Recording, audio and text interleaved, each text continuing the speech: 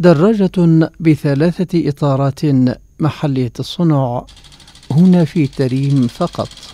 يتجول بها الحاج علي من ذوي الإعاقة الحركية للوصول إلى بقالته لكسب لقمة العيش لتكون الدراجة هذه سبيلا للوصول إلى مبتغاه. وفي أي لحظة بعد معاناة سنوات من التنقل بدراجة تكثر بها الأعطال ولعدم وجود قطع غيار لها. كانت عندي سيكل أبو أربع تواير هذه وهذه دائما في عطال كل ما رحت بقى عند مهندس يقول هذه ثمنها مش موجود هنا. والأخ فايز بعدين يا قال إيه رأيك إن أسوي لك هذه الدراية؟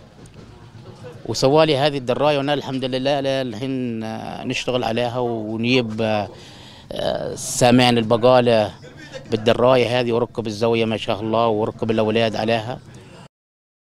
هذه الورشة هي محل صنع المركبات والعقل المبتكر لها والتي استطاع فايز من ذوي الاحتياجات الخاصة من صنع العشرات من الدراجات النارية ذات الثلاثة إطارات لخدمة أقرانه متمتعا بتفكيره وعبقريته التي وهبها الله عز وجل له رغم إعاقته وتخصصه في مجال النجارة والتي قلما تجد مثل هذه المواهب عند الأصحاء. تخصص في النيارة يعني مجالي مجال الحديد والحام وذا.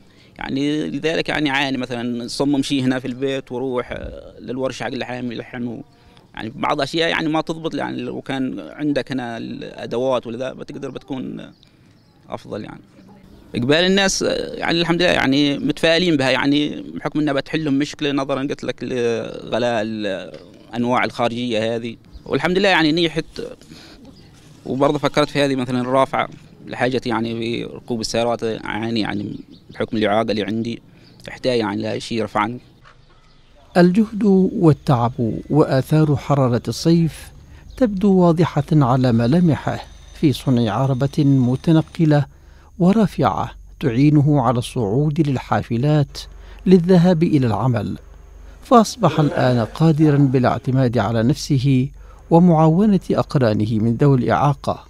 فالمساهمة الخيرية والنوعية التي يقوم بها هذا المبتكر يستحق أن يحظى بثناء وتقدير عاليين علاوة على ضرورة اهتمام الجهات المختصة بمثل هذه الإبداعات والمواهب.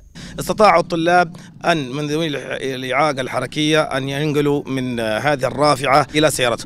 فلا يستطيع أن يحتاج لأحد أن يأخذ بيديه ولا يستطيع لأحد أن يساعده.